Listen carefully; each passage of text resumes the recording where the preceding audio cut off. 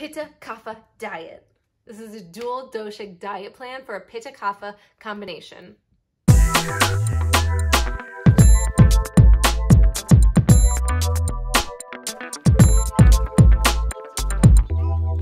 Hi guys, my name is Clare and this is Clare Minded. Welcome back. I'm so stoked for you guys to be joining me. If you haven't already, hit the subscribe button. I would love for you guys to stay in tune and check out all the more videos that I have coming your way.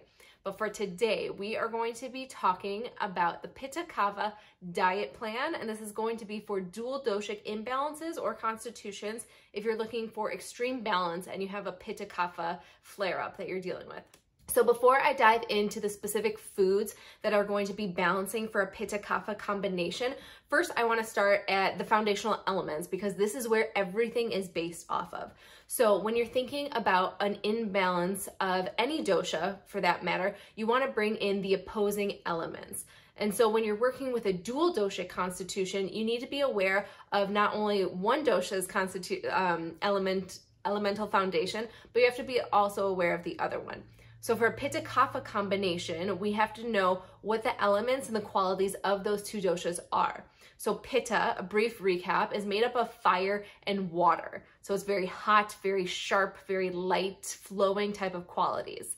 And then Kapha is made up of earth and water. So they have that water in common there. But the earth makes things very heavy, it makes things dense, um, just very like grounded into the earth. So when you bring Pitta and Kapha together, they have the elements that are fire, water, and earth. So when thinking about it from a foundational stance, in order to balance this dual dosha constitution, you want to bring in the opposing elements. And so this includes into your diet. So what are the opposing elements of earth, water, and fire?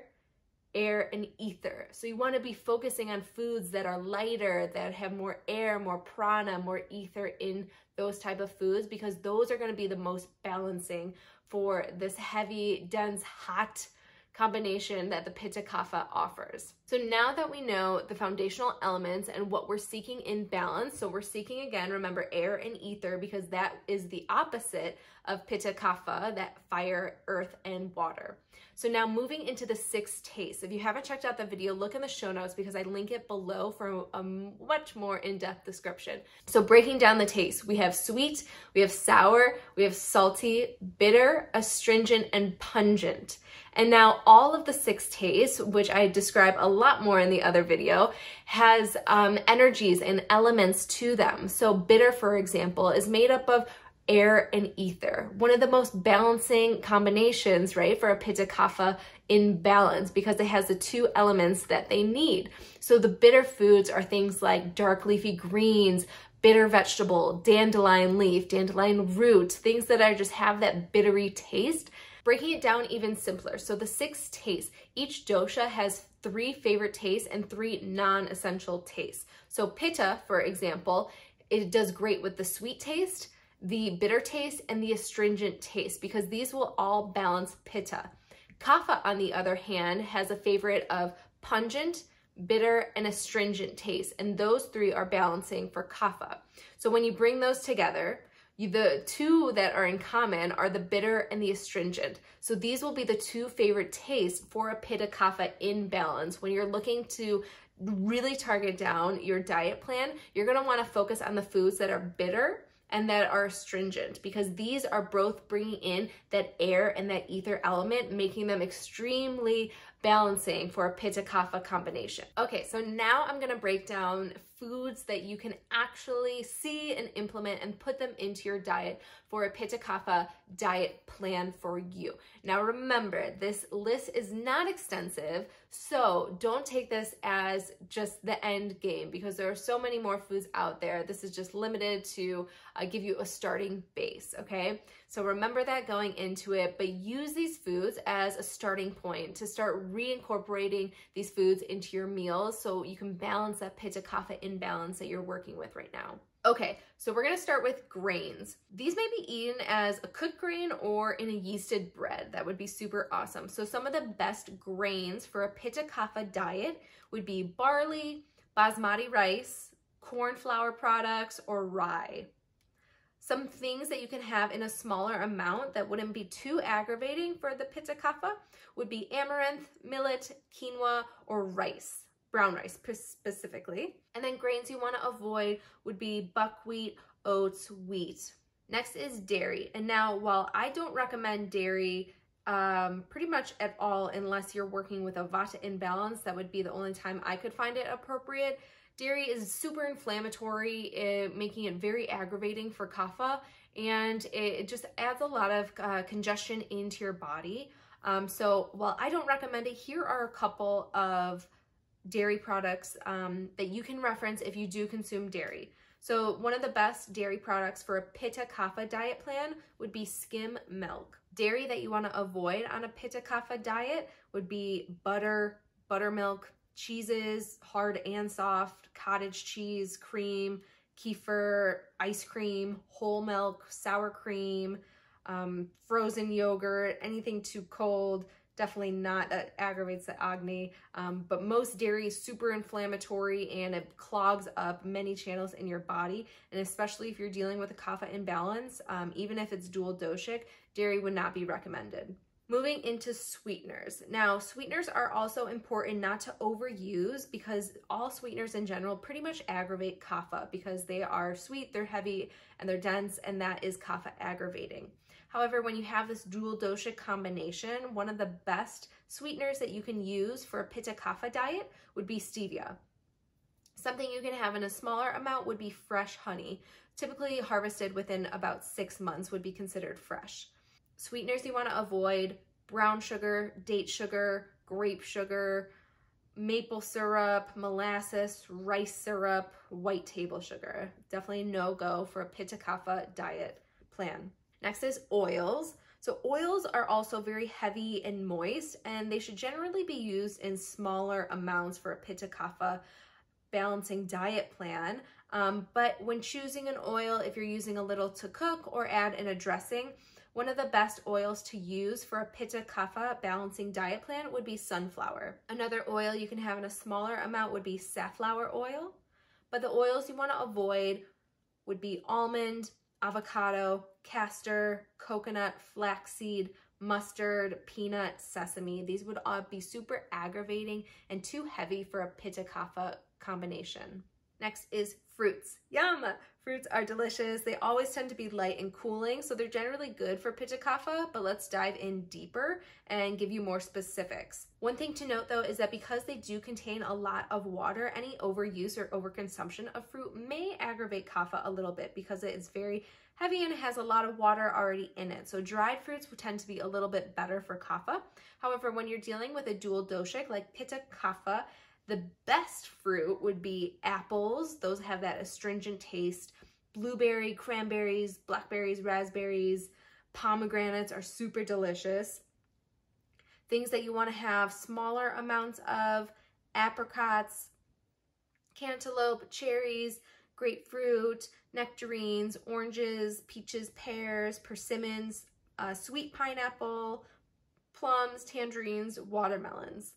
Fruit you want to avoid, dates, figs, mangoes, papaya, a sour pineapple. These will all be a little bit too heavy and aggravating for pitta kapha combination. Oh, and definitely dried fruits are great. Dried fruits are super awesome because they're lighter, they're drier, they carry more of those air ether qualities. Dried fruit, super good for pitta kapha diet. Vegetables. So raw vegetables are awesome and amazing in the summer. A mix of raw and cooked also may be eaten for the rest of the year because this combination is just light, it's cooling, and most vegetables actually reduce both pitta and kapha and thus should be eaten in abundance. As many vegetables as you can eat as you want, please eat all the vegetables. And like I said, you want to focus on those dark leafy greens. So the best vegetables are going to be things like alfalfa sprouts, Brussels sprouts, artichokes, asparagus, bean sprouts, bell peppers, broccoli, cabbage, cauliflower, celery, cilantro, green beans, green peppers, kale, leafy lettuce greens, lettuce, mushrooms, parsley, peas, pumpkin, sunflower sprouts, sweet peas, or turnips. amazing vegetables. Eat all the vegetables you can.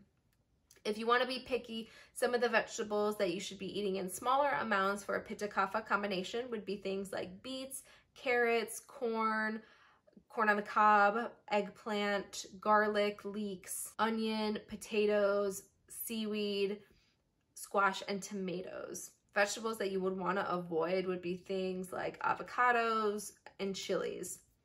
Those are going to be too too spicy and too heavy for pitta kapha. But remember, vegetables are always delicious, so don't be too picky about the vegetables. Remember, if it's dark, if it's leafy, if it's cruciferous, um, all vegetables are good. The only ones that could potentially cause a little aggravation, if you want to really dive in deep, would be any type of root vegetable because it's in the ground, it's heavy, it may aggravate kapha in abundance, but vegetables I would not be picky about. I, this is not where I would be fine tuning if we're talking about anywhere on the diet plan for Pitta Kapha. Eat vegetables in abundance. Next is nuts and seeds. So remember, we're trying to balance pitta and kapha together. So the best nuts and seeds for a pitta kapha dual doshic diet would be pumpkin seeds and sunflower seeds. A couple nuts that you can have in smaller amounts would be pine nuts and sesame seeds. But some of the nuts that you want to avoid would be things like almonds, Brazil nuts, cashews, coconut, macadamia, peanuts, pecans, pistachios, walnuts. Those are all going to be a little too heavy for the pitta kapha combination. So while I personally don't advertise or advocate any meat consumption unless you're dealing with a severe vata imbalance, um, meat also tends to be super inflammatory and aggravating for the system, especially for kaphas. So for pitta kapha combination, there actually is not any meat that is best recommended because it's all going to be aggravating in some type of way. If you do consume meat and you want a couple things that you can have in smaller amounts that would be recommended for a pitta kapha combination would be things like chicken, egg whites, or freshwater fish. But definitely the meats that you want to avoid are beef, duck, egg yolk, lamb, pork, seafood, venison, turkey, legumes. So beans tend to be dry and cool, which actually makes them generally all right for a pitta kapha combination, which is super awesome because we love beans. They have tons of protein, they have tons of fiber, and they have tons of solid nutrients that can help fuel your pitta kapha imbalance. So legumes should always be soaked overnight. They should be added with spices to help with a digestion. And of all beans, tofu and mung are by far the best. And that goes for pretty much any dosha um, combination. Mung is just super balancing for all. Some legumes that you can have in a smaller amount would be chickpeas, lentil, peanuts, and tempeh. There's not really any major legumes that you should be avoiding on a Pitta Kapha diet, so just choose your favorite, but make sure they're soaked overnight and you add digestive spices to help aid in digestion as well as absorption properly. So spices are delicious. They aid in digestion and absorption of nutrients as well as they just improve the flavor. So they're delicious. And for Pitta Kapha individuals, generally you want to feel warm, mild, moderate type spicing. So you basically don't want the spices to be too hot, in which case they aggravate Pitta because you remember you want to be balancing Pitta and Kapha. So you want to be consuming lighter digestive spices, things that are moderately spiced, slightly warm, um, but definitely not, you know, too hot. That'll be aggravating. So the best spices for a Pitta Kapha diet plan would be cardamom, catnip, chamomile, coriander, cumin, curry leaves, fennel, peppermint, saffron, spearmint, turmeric. These are all super delicious and balancing for Pitta Kapha. Other spices that are more recommended in smaller amounts would be allspice, basil, basil, bay leaves, caraway, dill, fenugreek, fresh ginger, oregano, paprika, parsley, poppy seed, rosemary, sage, and thyme. Some of the spices that you would want to avoid maybe consuming on a very rare occasion would be those that are super, super pungent. So spices like black pepper, cayenne pepper, celery seed, raw garlic, dry ginger, because dry ginger is a lot more potent and pungent than fresh ginger, mustards, and salt. So those Again, you might have considering using those in smaller amounts on a rare occasion, but try not to make them your everyday thing if you're dealing with a pitta kapha imbalance because they are more aggravating. For condiments, again, pitta and kapha don't do too great with condiments because a lot of them carry just sweet, heavy qualities, which is aggravating. So there's not any condiments that are best suited for pitta kapha, but but a smaller amount type of condiment that you can have more regularly, semi-regularly would be carob. But some of the condiments that you would want to avoid would be ketchup, chocolate, mayonnaise, and vinegar. These are going to be more aggravating for the Pitta Kapha diet. And lastly is beverages. Remember, taken at room temperature. Green vegetable juices. Remember, dark leafy greens are a major hit for Pitta Kapha diets. Also teas chamomile, mint, spiced teas, lightly spiced teas, uh, water. Water with a little lemon also works as well. Sparkling water with no added sugar. Beverages you want to avoid, alcohol, black tea, coffee, fruit juices that are heavily sweetened. So all those ones in the supermarket, unless it's fresh pressed, please pass. Soft drinks, soda pop, and extremely pungent teas. So this was all about the Pitta Kapha diet plan to cure imbalances of a dual dosha constitution. So remember, when you're working with dual doshas, you have to look at both of them at play and see the common denominators. So Pitta Kapha, they have earth, fire, and water elements. So you need the opposing elements air and ether. And you can find those in the foods that I listed here. So some of the best foods, all those legumes, the dark leafy greens, the vegetables, these all carry more air and more ether qualities, which will be balancing for Pitta and Kapha. If you guys have any other questions about this video or any other of the diet plan videos that I have, please drop it in the show notes below. I would love to connect with you guys further. Um, if anyone's looking for a further dive into Ayurveda, please reach out as I do take on clients one-on-one. -on -one, so I would love to connect and help you guys bring yourself back to balance. Again, my name is Clare and this is Clare Minded. I'm so stoked to be traveling along this journey with you guys. So thank you for tuning in.